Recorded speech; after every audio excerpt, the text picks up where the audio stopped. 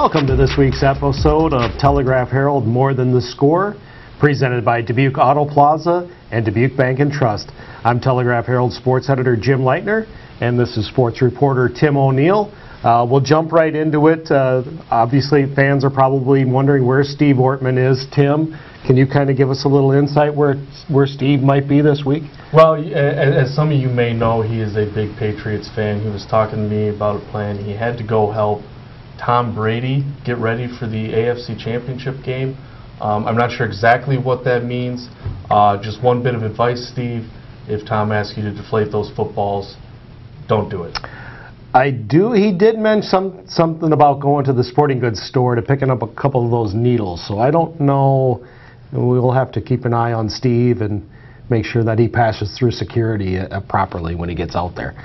Uh, we're going to talk a little bit about wrestling with Tim O'Neill this week. Uh, Tim, uh, it seems like there have been a ton of milestones happening here in the last week or so uh, with local and area wrestling programs.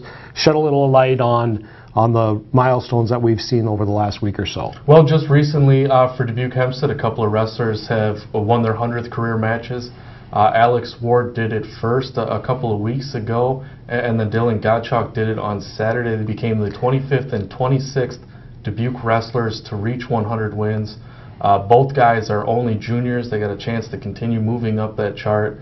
Uh, the city wins record and program win record is 168 by Gannon Gremmel. Since both of those guys are juniors, they do have a chance to catch that.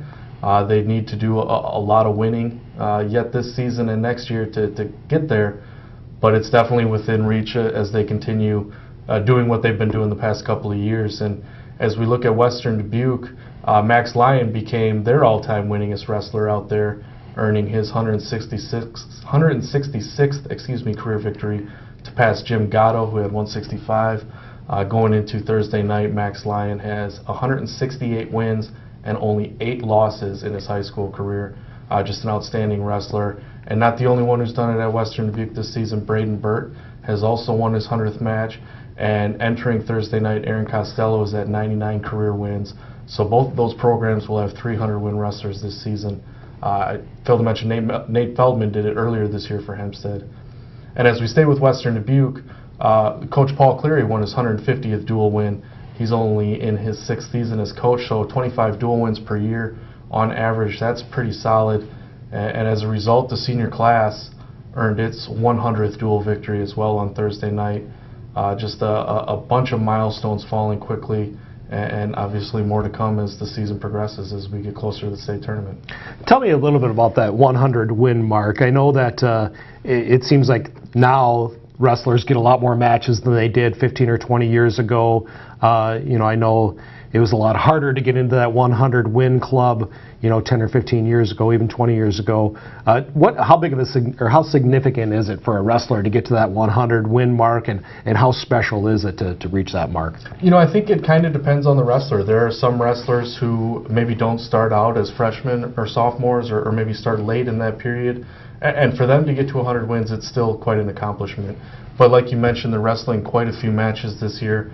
Uh, just last year, Max Lyon went 51 and 0, so he's halfway to 100 right there in one season. Uh, for a lot of these guys who are wrestling all four years, 150 is really the new benchmark that they're shooting for. Um, and and Lyon and Gannon Gremmel for last year for Hempstead have been the only guys uh, that we've had reach 150 wins in the last few years, other than uh, Jim Gatto and Nick Steger out at Western Dubuque. Um, so really, that kind of is the plateau guys are going for. It's still obviously nice to get that mm-hmm. that round number, get to the triple digits, but it, it, doesn't quite have the prestige it used to have. And, and and some of the guys have been saying that as I talk to them for these mm-hmm. stories that you know 100 is nice, but it's not really the ultimate goal. We're getting to that point in the season. We're probably about a month, a little more than a month away from. Uh, going to, down to Wells Fargo for the state wrestling tournament. Uh, it, it kind of feels like right now that things are starting to ramp up a little bit on the wrestling scene. That guys are getting a little bit more excited. Uh, they're figuring out where they're going to wrestle, what weight, um, you know, who they're going to have to face in the postseason. You know, tell me how how are things kind of ramping up right now with you know really a month left to go to really fine tune your game before you go to state. Well, really, uh, this weekend down in Clinton, it's the the Bob Luters Invitational, and that is a, a very prestigious tournament in Eastern Iowa. It's got a lot of the top teams. Uh, Western Dubuque coach Paul Cleary calls it a mini state tournament because of some of the, the, the strong teams and traditional powers that they have there. So that comes a week before the conference tournament. So that really is a good chance to look at where you're at, how you stack up, and use that as uh, something to build on going into those conference tournaments. Find out what you got to work on, where you're weak and where you're strong, and, and use those to, your, to the best of your ability as you go past the conference tournament and get into the sectional and district meets where you know a loss really could derail your season. You know, as I mentioned, you were about a month away. Who do you see right now as as potential guys that can get down to Des Moines and do some damage and maybe make it onto the podium a month from now? I put your uh, crystal ball out there. What to, who do you think? Do you, who do you see as you know little, legitimate podium contenders this year? Well, let's start with the guys who are ranked number one in our area. Uh, Max Lyon and Aaron Costello, both from Western Dubuque, are both ranked number one. Lyon at 182 and Costello at 285 in Class 3A. Uh, we also have another number one ranked guy that we really haven't talked about much at all is Luke Hageman from Dyersville Beckman. Obviously, he has a chance to, not just to get down to state and get on the podium, but uh, favored to, to win it based on his ranking this late in the season. Uh, as we look at other guys, uh, Western Dubuque has a very strong team, a bunch of ranked guys. Braden Burt at 132, Luke Kleesner at 195.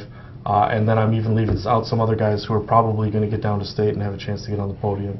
Uh, at Hempstead, it's Dylan Gottschalk and Alex Ward and Nathan Feldman, Dylan Olson. All of those guys are ranked. Wahlert's got some really strong wrestlers, uh, and Dylan Olson, or uh, excuse me, uh, Blake Bradley, and Drew Lenz, and Boone McDermott, uh, and Colton Bartow. Seniors got a chance to send some guys down, get some place winners. I think uh, I think this winter could be the best winter we've had at the Iowa State Wrestling Tournament in, in my seven years covering the sport. You know, I, I used to cover wrestling several years ago, and it'd be, you know, it'd be maybe one or two guys with a chance to make it to the podium uh, from our area. Uh, what's the reason? Why are we seeing so much uh, of a resurgence here, resurgence of, you know, area wrestling? Why are we seeing so many good, strong uh, programs and guys that have a chance to make such a damage down there?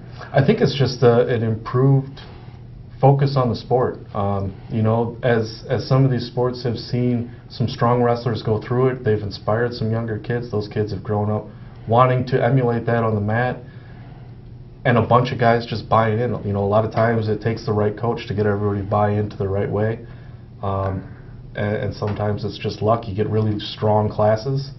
Um, a lot goes into it, but uh, just really fortunate for this area to be going through the kind of resurgence that it's gone through because uh, the, the sport of wrestling used to be really strong in this area. It had that little downturn, and now hopefully we're back to, to this point where, you know, Dubuque wrestling's back on the map. I know this is probably your most exciting time of the whole school year. Uh, tell me about how much are you looking forward to this next month, month and a half, when uh, you know things really start to get interesting. Yeah, I've made no secret that I've fallen in love with the sport since I've started covering it. It's just um, I'm looking forward to, to the thrills and the chills down at the state tournament. Mm-hmm. I mean, as, as guys are fighting to keep their dreams alive to win a state championship, other guys trying to, um, you know, just reach goals of, of, of, getting on the medal podium. You know, the chance to see these guys achieve their dream, uh, make history in some cases. Uh, you know, it's, it's been a, a, thrill to watch Bellevue come back to, to the state tournament after a long absence and, and follow that path. And some of these guys from these other schools um, it's just really fulfilling to see them get their hand raised at the end, all the hard work they've had, and and to know that you know it could all go away in one mistake. So you got to really be perfect to to get it done. I know that uh, you know when I, when I grew up, I didn't have any kind of wrestling background. I know you're the same. You didn't wrestle in high school, um, but it's a very interesting sport to watch. And I think of all the state tournaments, it's probably probably the one that's most interesting in terms of people watching. Uh, going down there and watching people from all over the state, uh, a grandmother from Emmetsburg, or you know, basically all over the state. They go nuts for the sport. Tell me a little bit about the environment there and how it's so much different from any other sport in terms of you know the energy that's in that building and you know and people watching and seeing uh, you know people from all of the state, all over the state, really enjoying this sport. You know, obviously I can't speak to every state tournament. I haven't covered every sports state tournament, but I, I'd be hard pressed to find one that would match the excitement and energy of the Iowa State tournament. When you think about the fact that you got people from 200 different high schools filling an arena. you'll never see the arena full for a high school state basketball championship, I don't think, or or the Unidome will never fill up for a prep football state championship. But Wells Fargo Arena will fill up to the rafters, and these fans will all be cheering on their different high schools, and they're all very educated. They know about all these different wrestlers. Who's number one? Who's a two-time state champion? I, I remember there was one year uh, an early tournament match between a couple of three-time state champions. They were both trying to get, go for the fourth time, and everybody in the arena was fixated on this one match. It was like a, a state quarterfinal. It wasn't even on the, the, the final day of the tournament or anything like that. And everybody was just so into the match that I don't know that you'd be able to find that in any other state tournament. It's just awesome. Yeah, it's like I said, uh, without having a, a big back, background in wrestling, it's a it's a very fun sport to watch, and it's it's addicting. And like I said, it's a great uh, great event to people watch. And I think uh, if you're from Iowa, it should be on your bucket list to at least go down to one state wrestling tournament. Uh, that should pretty much do it for Telegraph Herald More Than the Score, presented by Dubuque Auto Plaza and Dubuque Bank and Trust. Thank you, and we'll see you next week.